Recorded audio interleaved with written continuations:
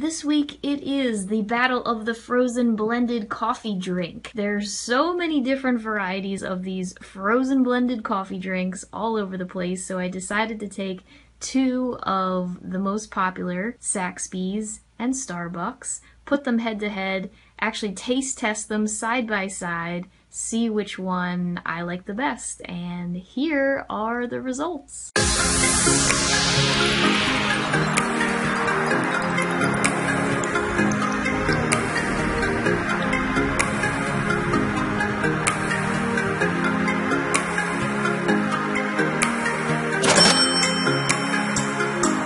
First up, Saxby's Frolatte, white chocolate Frolatte.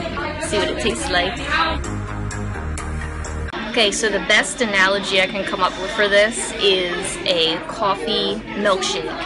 Very frothy, smooth. I got the jitters because I got so much sugar in me, but it's really sweet. It doesn't really taste like white chocolate, but that's okay. But it does have like a little chocolate milk kind of flavor. Definitely very rich, very smooth, and it's like a dessert. It's gonna keep me up for another 24 hours probably.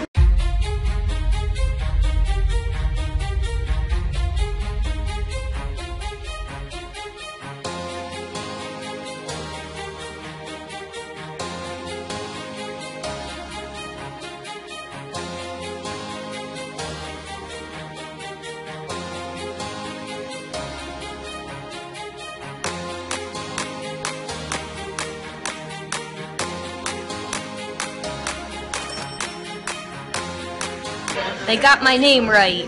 They actually spelled it correctly. That's a first. So let's give it a taste test. Definitely has a little bit more of an icy texture, which I kind of like. This one definitely tastes more like white chocolate. Icy avalanche of white chocolate.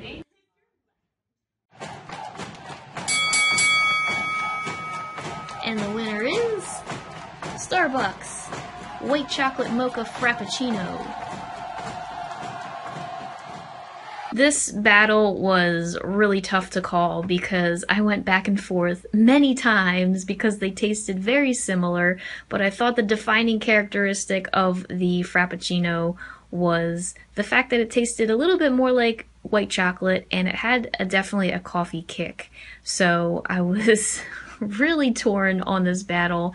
It was won by a a hair, a half of a percentage point. That's how close this race was. Hey, I'd love to know what your opinion is of this battle. Are you a fan of Saxby's? Are you a fan of Starbucks? Tell me what you think.